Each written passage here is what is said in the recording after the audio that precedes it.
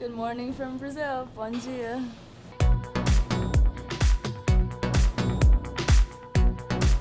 I'm so stubborn.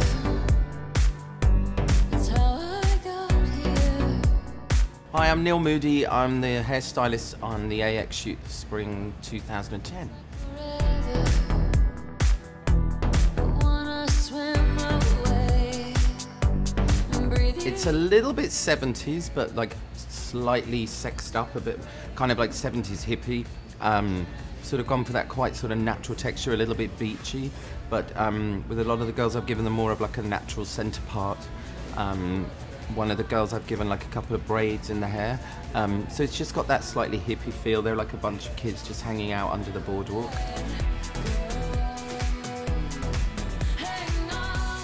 Hi, my name's Virginia Young, and I'm the makeup artist on the Armani Exchange shoot.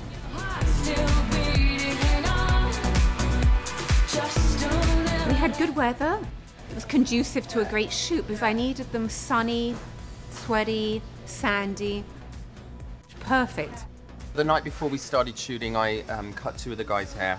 Um, Clint, his, his hair had grown out quite a lot, so um, we decided that it was better if we shaved his hair off, just made him look sort of sharper and a little tougher looking.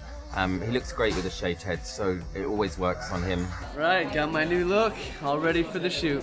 With Irina's hair, I did in a couple of uh, different tones to rather than just matching it completely to a natural colour. So it had a little bit more depth to it, and it kind of breaks it up by having more than one tone in her hair.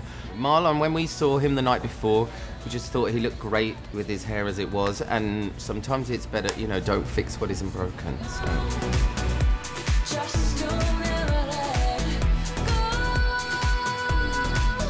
The look is that they've just been playing on the beach, maybe done a bit of swimming. So the look is really natural. And as we're working in a dimly lit area, I've got to use highlight as opposed to depth. So I'm playing with highlight on the cheeks, highlight under the eyebrow, and across the bow of the top lid. Doing a little bit of eye makeup just to enhance her features, um, but really we're, we're playing on a lighter touch.